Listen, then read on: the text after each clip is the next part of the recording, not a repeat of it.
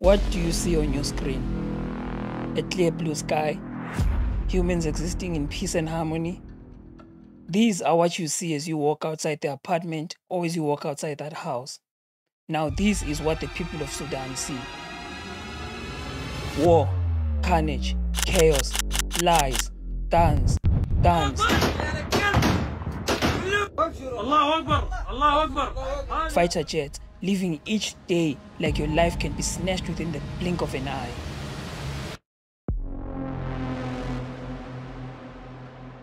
All the peace, the dancing on TikTok, the lucrative business venture, the blockbuster movie at a cinema, all these things in one mere second can turn into this. Evil is born from love, your love of money, power, and influence. Once you get a taste of money in all its abundance, whether it's a million, 100 million, a billion, or 100 billion, whatever abundance may be to you.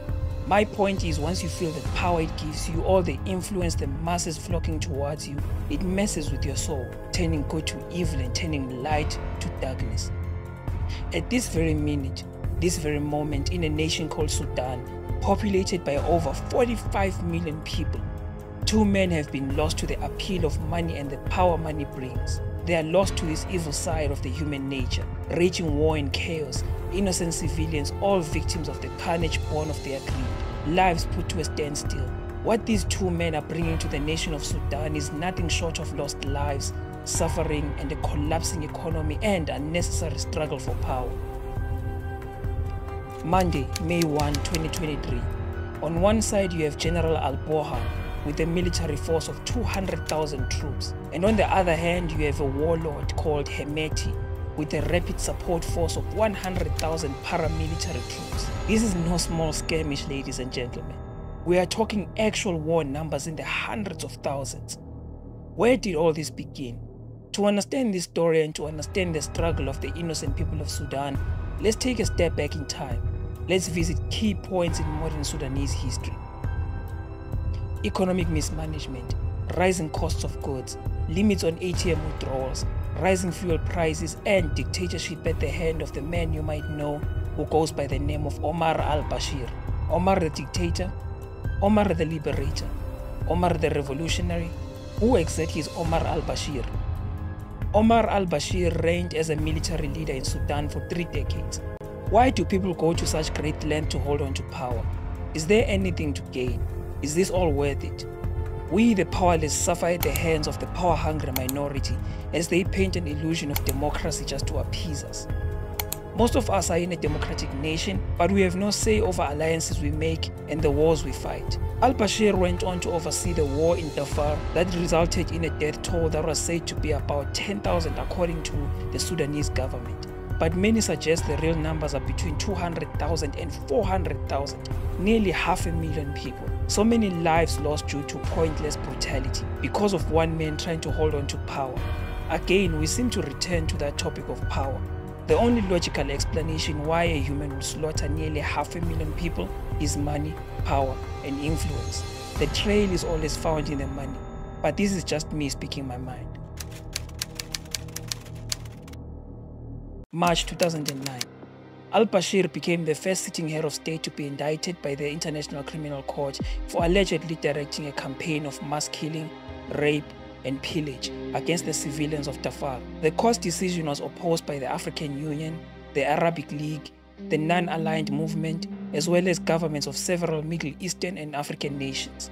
The Sudanese conflict in South Kordofan and the Blue Nile in the early 2010s between the Army of Sudan and the Sudan Revolutionary Front started as a dispute over the oil rich region of Abyei in the months leading up to the South Sudanese independence in 2011. After all the oil wars we've had, you all know what oil means to these great powers, and they will go to very great lengths just to get their hands on oil rich nations and regions. These events would later be known as the Sudanese Intifada, which would end only in 2013 after al Bashir promised he would not seek re election in 2015. But he would go on to break his promise and started seeking re election in 2015. He won the election through a boycott from the opposition party, who believed the elections would not be free and fair. Voter turnout was at a low 46%.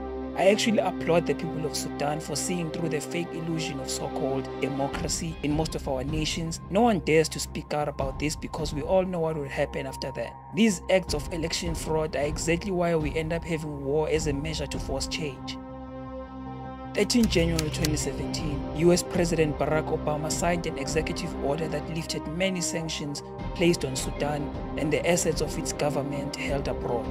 The following US President Donald Trump lifted most of the remaining sanctions against the country and its petroleum, export, import, and property industries. To what goal did these US and other nations hope to achieve with those sanctions on Sudan? Must innocent civilians suffer because of a few men and women in suits living in a palace? What about the people who starved because of those sanctions meant to punish a politician who, by the way, can afford to smuggle food to his palace with great ease? On 19 December 2018, massive protests began after a government decision to triple the price of goods at a time when the country was suffering a huge shortage of foreign currency and inflation was at 70%. In addition to all this, President al Bashir, who had been in power for more than 80 years at this point, refused to step down. I'll ask you again what do you see on your screen? Greed, power hungry politics, since the age of the Roman Empire, the story of power, influence, and money remains the same.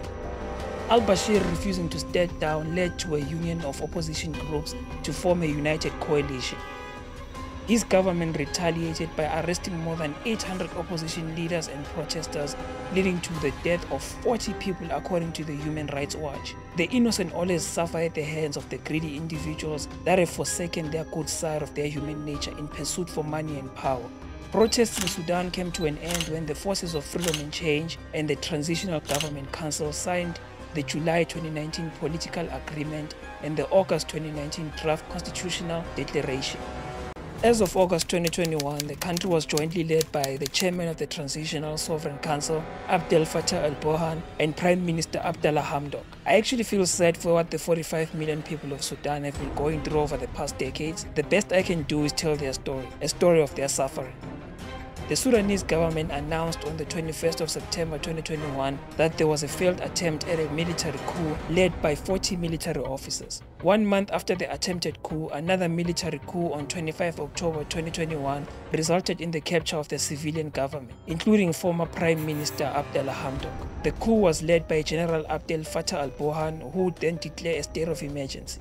On the 2nd of January 2022, Hamdok announced his resignation from the position of Prime Minister following one of the most deadly protests to date, which led to over 1,000 people, including 148 children, had been detained for opposing the coup. There were 25 allegations of rape and 87 people had been killed, including 11 children.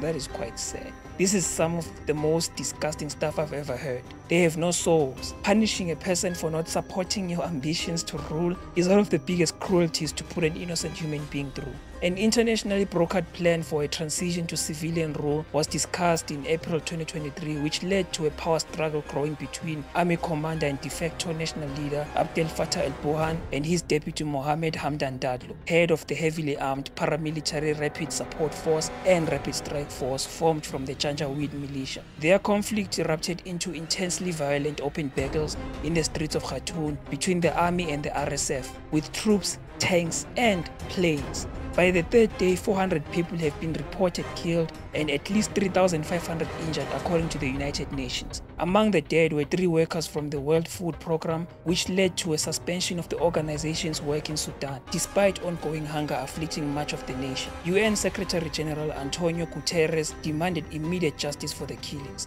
and called for an end in the conflict.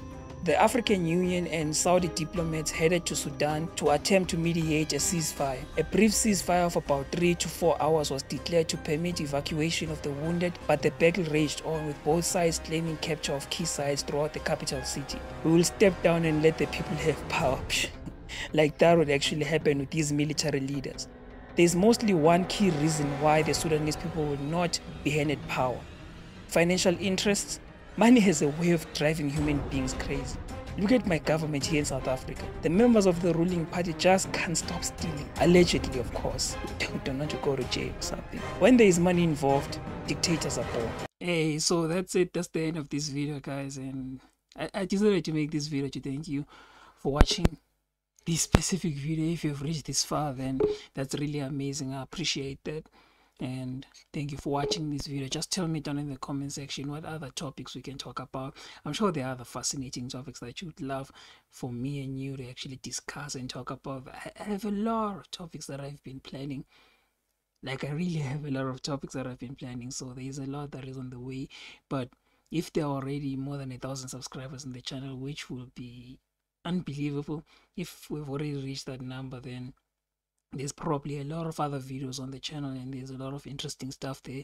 All you gotta do is just check the content out and i don't think i'm even gonna edit this audio. I'm just gonna publish it as it is. So stay tuned